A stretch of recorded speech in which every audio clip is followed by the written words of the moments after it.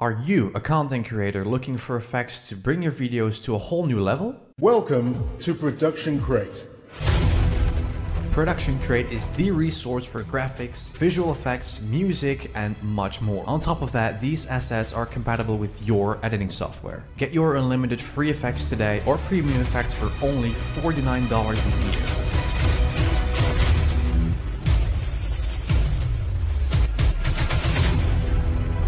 It awesome.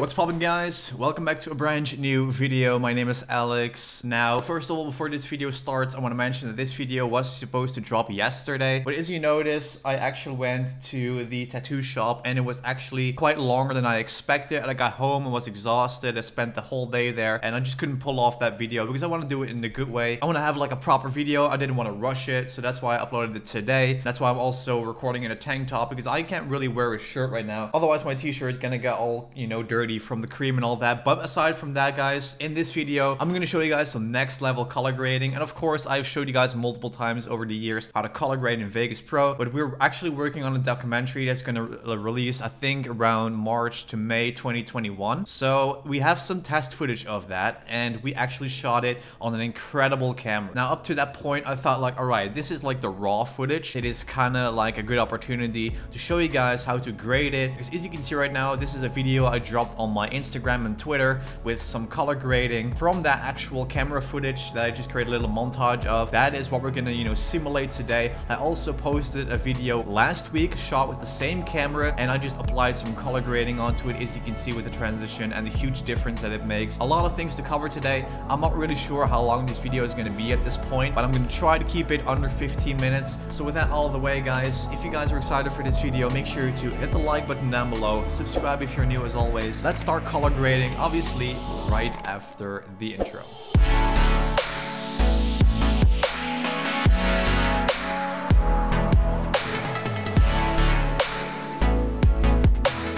So now that we are in Vegas Pro 17, we have a blank project open. Before I'm to drag in the footage, I'm to also explain to you guys which camera we specifically used because I placed some Instagram, I mean some YouTube stories on my channel and people were asking constantly which camera it is because my YouTube story got viewed like tens of thousands of times. So that's why I just decided like, all right, I'm just to create a video about color grading instead of replying to a thousand comments. Okay, so the footage that we shot from the camera, if you export that from your card onto your computer is going to be ProRes RAW footage. This is the footage that we shot. This is just test footage of the documentary that we're shooting because let's be honest, if you're going to shoot a documentary like full length, one and a half hour, I didn't really want to use my Canon G7X because that's just not going to cut it. The camera that we used is a Blackmagic one. As you can see right now, I'll just, you know, overlay a couple pictures. And the lens we used was the Sigma 18 by 35 millimeters. It was a great setup. We had it on a tripod and this is basically the clip if I play it back. We had the cameraman also just, you know, adjusting the camera, filmed at 25 frames per second.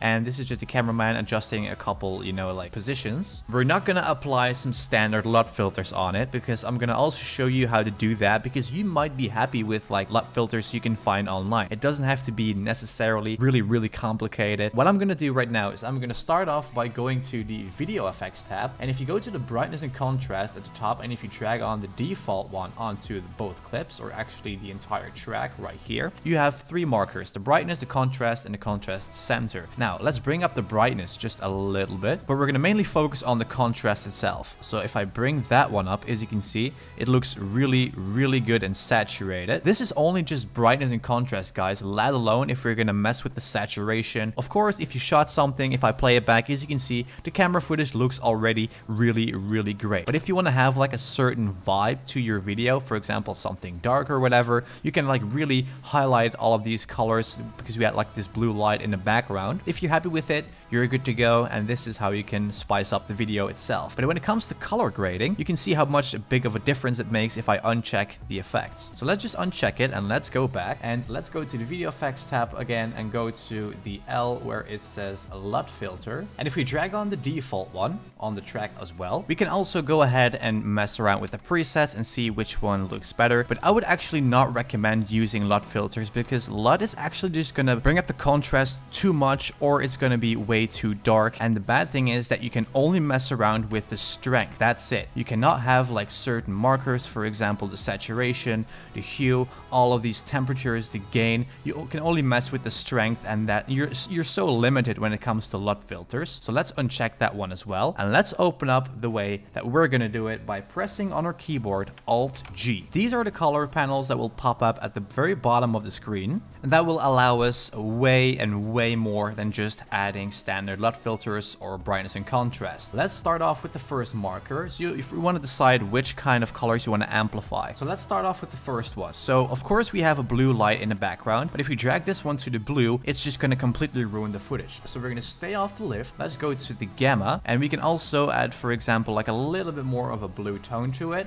But if you go to the gain, you can also see that will adjust the blue in different kinds than the previous two. And let's put this one a little bit more to the blue side of things, like that. But the cool thing is that on the right, we have this bar. At the very top, it says brightness. So if you check that one, we can go and mess with the brightness in certain like senses. You can just mess also where that keyframe is. But you also have the very bottom one that's going to change like the overall brightness. So let's make it a little bit darker and also go back to the very top one. And we can also make that a little bit brighter as well. Now what's really cool is you can separate colors. So let's uncheck the brightness for now and let's only focus on the red by checking this one. So now it's only gonna pay attention to the red colors in the screen. To keep or like your skin color kind of like the same as we had it before, we're just not gonna mess with the red marker too much. But if you go to the green one, there's not much green in it. Drag that one a little bit more up like that and also go to the blue. Now this is where things really come to life because if you drag this one down, it makes it a little less harsh on blue things because we also have like a blue light in the background. And you can really change up the vibe if you pick the top marker and you bring that down, for example, it's going to show a little bit more green and also go to the red one and we can really grade it until we're happy with it. You can also pick, for example, color levels and we can drag every single keyframe down how we want it so we can really really make this footage come to life. And it's actually up to you how downwards you're gonna put it because that's just a personal taste. So let's go ahead and reset these settings and let's go to the HSL so the first marker is actually gonna change up a lot of background colors as you can see but it's also gonna take up our skin color so we're not gonna mess with that one too much. I would bring that up just a little bit. Then the second marker is basically gonna intensify the colors behind us and actually on the entire screen. Drag that up quite a bit to give it more saturation. Then on the very right as you can see it is more like the brightness so you can also bring that for example just like that. Okay so then at the very bottom we can also add in extra LUT filters. If you click on browse it's just kind of the same as going to the video effects tab and select your LUT in there. But it's totally up to you how you want to grade this footage, guys, because it, you have like so many different options. So if I go to the second clip,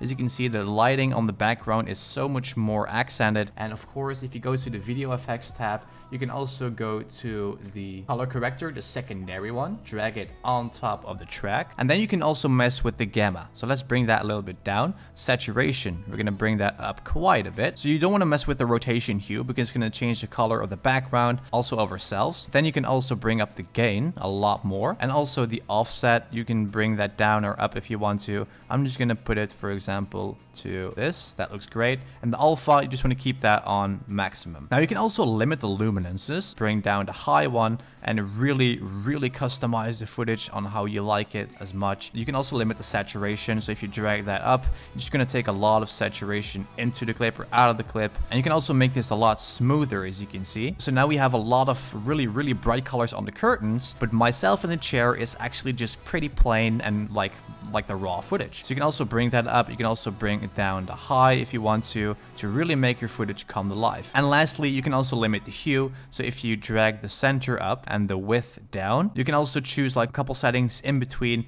and you can also smoothen that however you like. Now, of course, we have also a custom button. So if you drag that up, we can have multiple scenes and multiple vibes of the clip by also changing the rotation hue. You can also bring up the saturation right here from going black and white sorta because right now we only have the blue light. The rest of this entire screen is black and white and that's because we dragged down the saturation a little too much. So the gamma is allowing you to make things brighter as well. You can bring down the gain, for example, like if you want to pretend you're in a really dark room, and you can just bring that up quite a bit as well. And right here, the limit saturation and the limit hue are just repeated from this other menu that you have next to the custom tab. All right, so the next thing is the fill light option. So if you drag that onto our track, it's going to brighten up our footage just a little bit. But if you bring up the strength, it's just going to make our footage look kind of the same as how we recorded it. So you want to also just bring that up all the way. And if you pay attention, it's going to make a really, really small difference. If you look at my face, if I bring up the tint, it's going to give my face like a little bit more of a color. And also the softness is something that you can actually decide to put completely down or also completely up to give more of a smooth look. But I think if you bring it down all the way, that looks the best go to auto looks at the very top, drag that onto your timeline as well, and I would actually mess between certain filters. So if you mess around with these, of course, it's totally up to you. You can also lower the strength just a little bit and see which kind of filter is actually fitting the best onto your clip, for example, this one. And now I think our footage looks very, very good. So if I go ahead and uncheck all the effects on the track, this is what the raw footage looks if we drag it into Vegas Pro without any color grading. So nothing has been applied onto it yet. And if we go ahead and apply all the effects to it, this is what the end result looks like, guys. It is really cool and it really takes a lot of stuff to the next level when it comes to like really making a lot of colors powerful. For example, the second clip where we have a lot of blue highlights and it's totally up to you how you want to grade it. Like I've mentioned, everybody's taste is different. So this is how you color grade in Vegas Pro